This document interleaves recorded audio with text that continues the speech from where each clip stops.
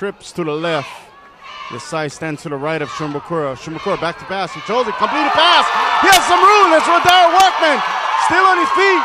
Across the 50 to about the 49. Making a touchdown saving tackle was number 12, Mark Hatchell, and also number 32.